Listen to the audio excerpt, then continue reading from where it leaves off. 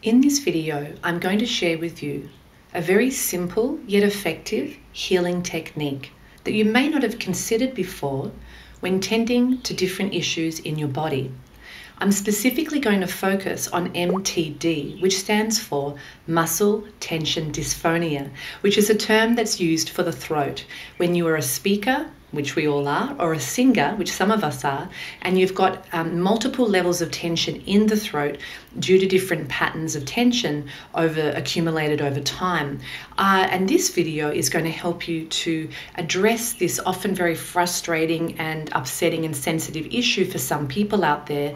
So if you yourself suffer from MTD or you would like to learn this very simple yet effective healing technique for any part of your body, stay tuned. And if you're watching this and you feel that you have it or you've actually been diagnosed, which is quite a lengthy process of being diagnosed, and you feel that you have muscle tension, muscle tension dysphonia, whether you're it's affecting your speaking voice, you know, when you're teaching or speaking day to day or speaking over Zoom, or you're a singer or both, and you would like to find a way to start working. And, and this video, of course, is also for anybody because, you know, what works here for muscle tension dysphonia, for example, will also work with a pulled muscle in your knee or, you know, a cut on your skin or a blockage in your chakra all this technique will work for everybody.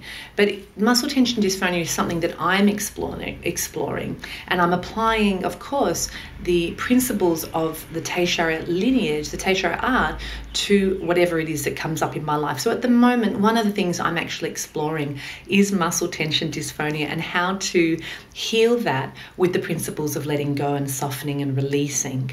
So if you're feeling frustrated, even afraid, you know, a lot of us have a lot of throat issues. Even if you don't have muscle tension dysphonia, you know, we can have a lot of issues stored in, in the throat. Many, many, many years ago, when I was a teenager, I was a singer in a band and I was really young. I didn't know that I needed to warm up that much. I didn't really care. I just wanted to sing. Um, I had natural talent and I thought that that was enough. And uh, I kind of met the limits of that natural talent and I ended up getting a nodule and a cyst. And, you know, at, at the time back, it was pre internet, you know, um, I didn't know that getting surgery was something I could avoid. So I actually didn't speak. I got some pretty bad advice, which was not to speak for a couple of months. So I went traveling, didn't speak for a few months, and that was a very interesting experience. And I then came back to my hometown and got surgery. And, uh, you know, I then did more singing after that, but it slowly faded out of my life. And I never really dealt with the fear and, and the, the issues that were there. And so now I'm ready and I've started to apply you know, Tayshara, of course, I'm a healer, so I'm always going to be working on using my art to help to heal me, which I've done a lot of healing in the last few years in my body. And now it's time to work on my throat. And I know a lot of you have muscle tension dysphonia, and it can be you know very frustrating. You can feel stuck on what to do.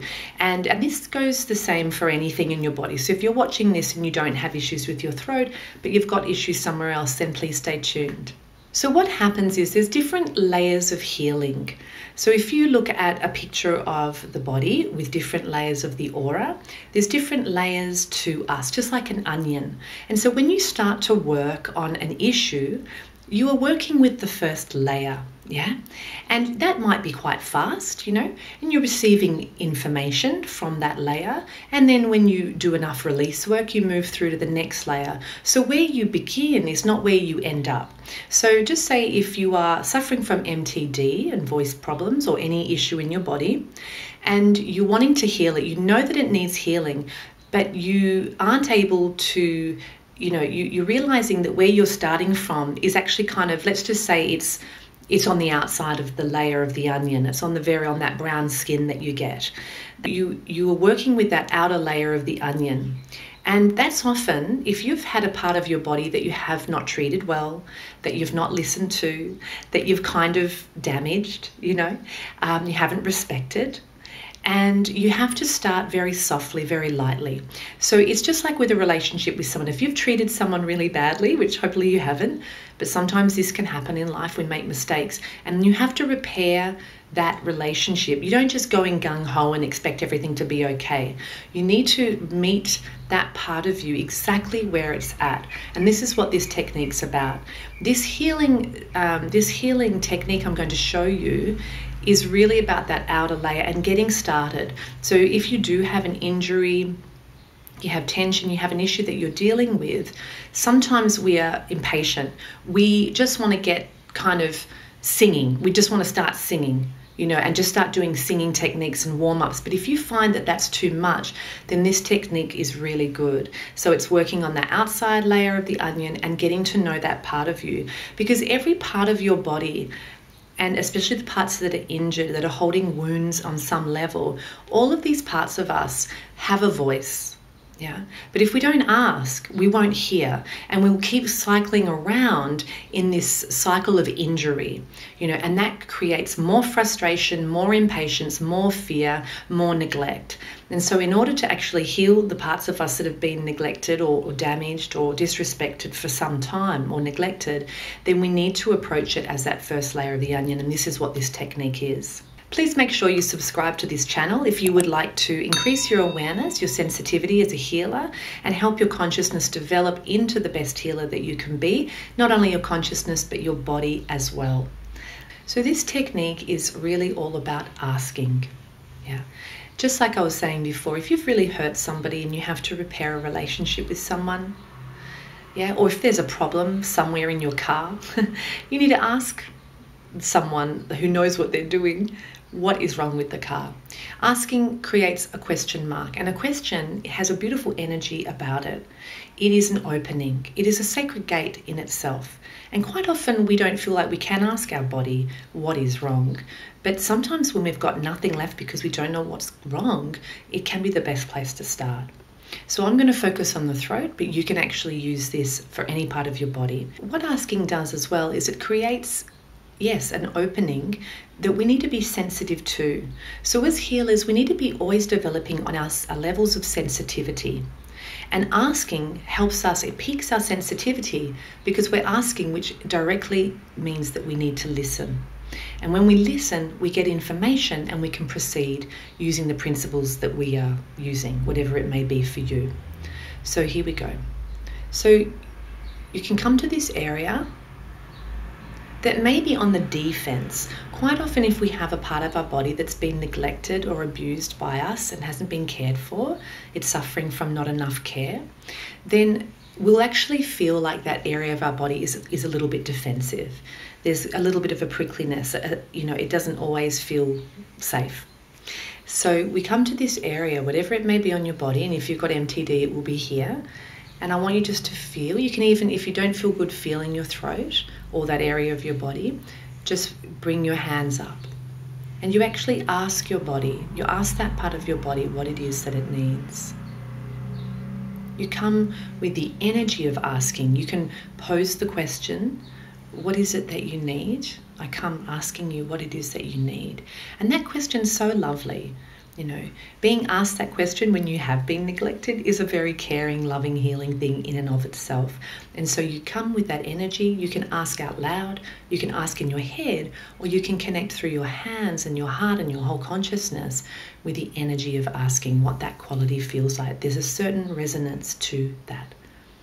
And when you ask, be very aware and sensitive and soft and open and feeling that's the key feeling the the what it is that it does need.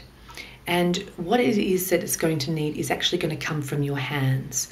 So it's quite instant, this technique. If you're thinking too much, you'll just clog up the communication and you may have to kind of chill out, reset, and start again. So you want to feel, and quite often, your the, the part of your body that you're asking will actually show you the energy and it'll just start coming straight away through your hands. So you ask that area. And you move straight away into just transmitting that frequency. Now, if there's a part of you that's been neglected, it's probably going to want an energy of care. There's going to be a, a loving, very conscious vibration to this to this energy. And when we neglect something, our consciousness isn't there in it. So when you're asking and you're creating that that opening to see how you can give to that area, how you can contribute, what does it need, then you're going to be really very much connecting to actually giving more consciousness. You're actually increasing your level of consciousness in, in an area that hasn't had a lot of consciousness, you see? So asking there. And you may just move around, you may put your hands on that area. It may start, that first start of the onion, maybe just no touch, and then eventually with that same energy, you have some touch. And you can also give yourself um, a massage for people with MTD or anywhere that you have that injury, you can do some massage. And you, you're creating a connection. You're creating a connection with this part of your body. And, you know, depending on your level of impatience and expectation and all these things that often can cause healing to slow down, we need to be open to that being what that area wants. So if you'd hurt a friend and you come to them asking, What can I do to, to care for you? How can I care for you? What, what can I do? When they give you the answer, you don't say, No, no, that's not that's not enough. Or that's not how I want to do it. So just be very aware that if you've been you know, creating a relationship unconsciously or consciously with an area of your body that you feel let down by, you need to heal that relationship. And you do that by listening, by being more sensitive, by increasing your con- your consciousness in that area. So you relax your body, you uncontract your in you know your consciousness into that area and connect and give it what it's need give it what it needs. And there will be a certain frequency or feeling or texture or quality that your hands are able and then just hold that and soften. Open all your joints and you can follow the principles of Tayshara, which is, of course, continual releasing and relaxing your body, opening the joints, and expanding into deeper, deeper levels of liberation. So, very simple. Some areas that have been neglected or are um, heavy or are hot, have too much energy in a sense. I do not recommend adding anything, taking anything away, or doing anything like that. Just listen to what it needs. It may just need a hand of friendship. You understand? May just need a hand of friendship. Sometimes that's that's all that people need. They need, you know, like a hand on their shoulder, just to know that you're there. So I hope this video has been helpful. Please give it a thumbs up. Okay, thanks for tuning in, guys, and bye bye for now.